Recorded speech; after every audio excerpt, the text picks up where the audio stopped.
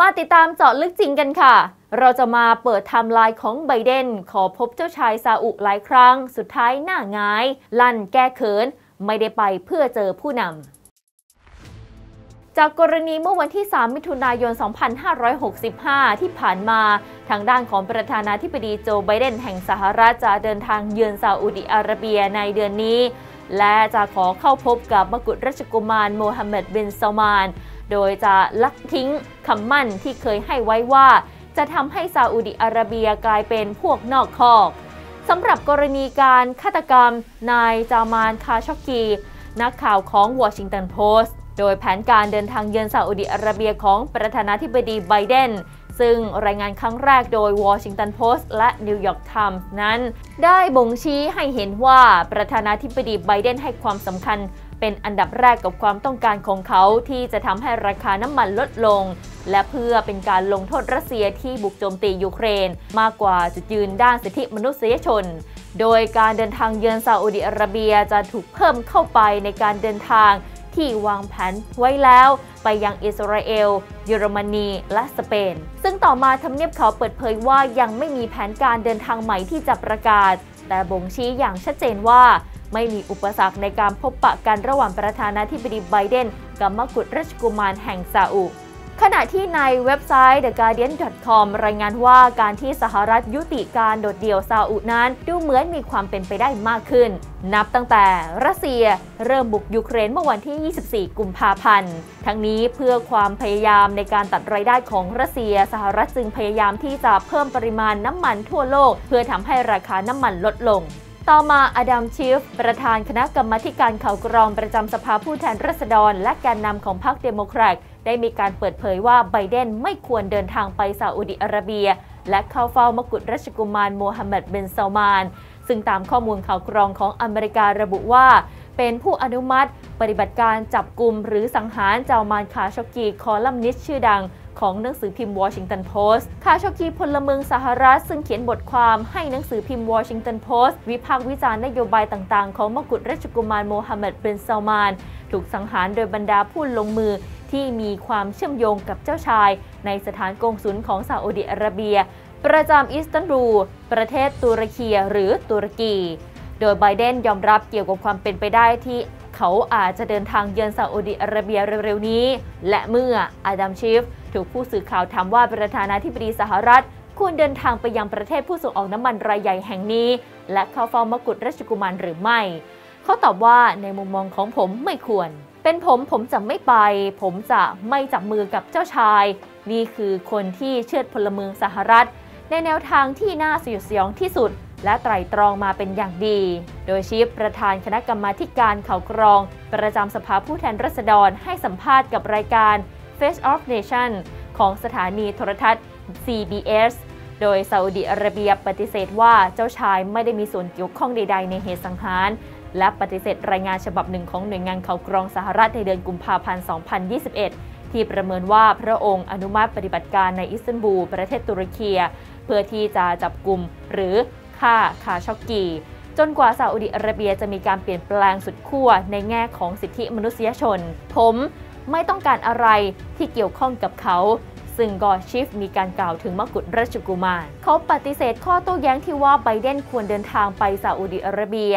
ในความพยายามโน้มน้าวให้พวกเขาเพิ่มกำลังผลิต เพื่อช่วยให้ราคาเบนซินสหรัฐลดต่ำลง ปัญหาใหญ่ของไบเดนและสมาชิกพรรคเดโมแครตก่อนถึงศึกเลือกตั้งกลางเทอมในเดือนพฤศจิกายน ในช่วงต้นๆของการดำรงตำแหน่งประธานาธิบดีสหรัฐของไบเดนทำเนียบขาวเปิดเผยว่าไบเดนจะติดต่อกับกษัตริย์ซาลมานบินอับดุลอาซิซเท่านั้น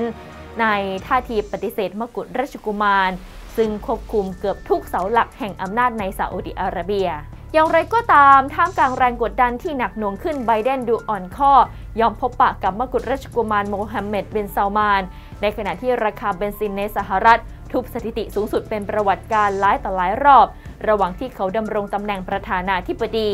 ที่ผ่านมา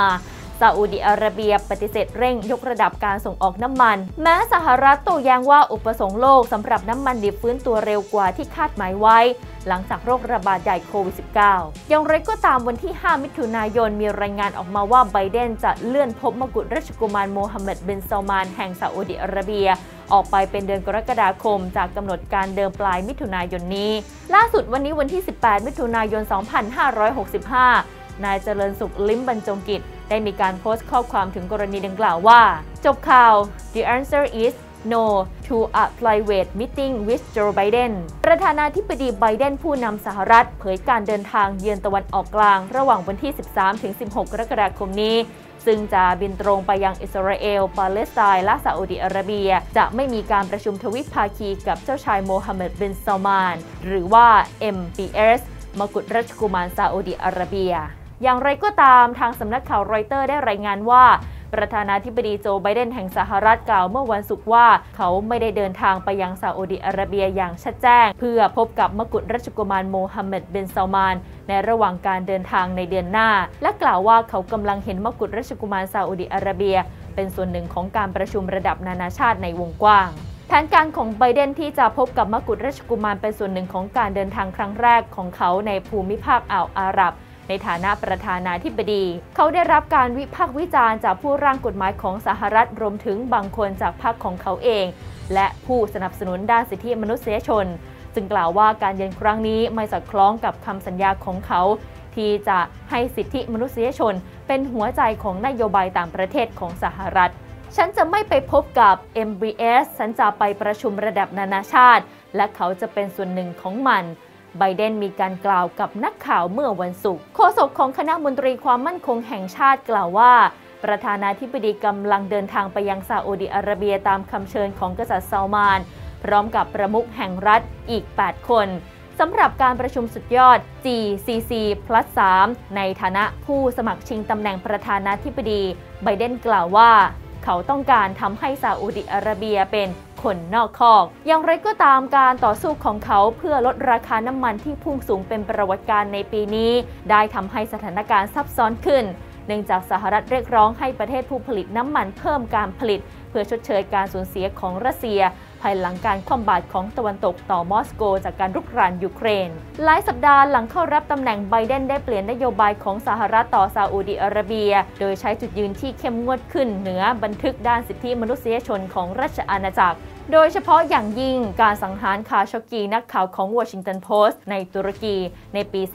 2018 หน่วยข่าวกองสหรัฐระบุ การมีส่วนเกี่ยวข้องกับมกุฎราชกุมารในคดีฆาตกรรม รัฐบาลซาอุดิอาระเบียได้ปฏิเสธการมีส่วนร่วมของเขา ความปรารถนาของวอชิงตันที่จะปรับปรุงความสัมพันธ์กับราชาธิปไตยในอ่าวได้ กลายเป็นเรื่องเร่งด่วนมากขึ้น หลังจากการลุกรานยูเครนของรัสเซียเนื่องจากยุโรปดูเหมือนจะลดการพึ่งพารัสเซียด้านพลังงาน ทั้งนี้สหรัฐเรียกร้องให้รัฐอ่าวไทย ประนามมอสโก